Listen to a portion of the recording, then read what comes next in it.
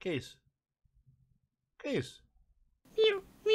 Golpe de MMA? Ó, se o teu irmão, Maju, fizer uns golpes esquisitos comigo, lá em Jaú, esse tipo de golpe aqui eu não aceito não, tá? Isso aqui é a nova moda do MMA. Ó. Ai, que horror. Eu não vou querer fazer isso aí, não. Relaxa. Teu irmão, teu irmão não vai vir com esse, com esse Não, negócio não, né? Não, não, não. Qual, qual é o nome desse golpe?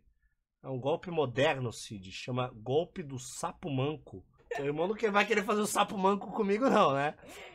Já vou deixar avisado. Nada do sapo manco. É o delegado da Cunha. Não é o delegado da Cunha, não, pô. Ah, é o famoso golpe cheira-saco. Golpe do picolé quente. Mamada leão. Mamada leão, o cara deu mamada leão, velho.